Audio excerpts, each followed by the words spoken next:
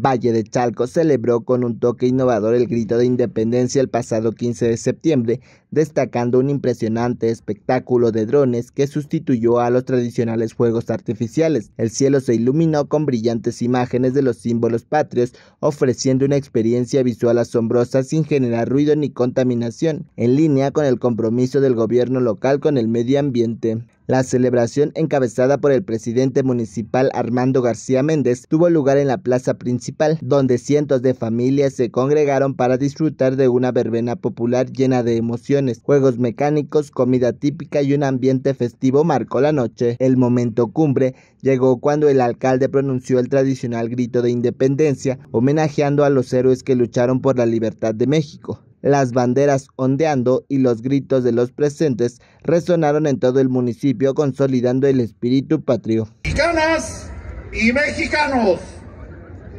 ¡viva nuestra independencia! ¡Viva!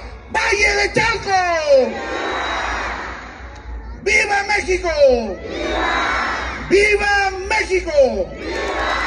¡Viva México!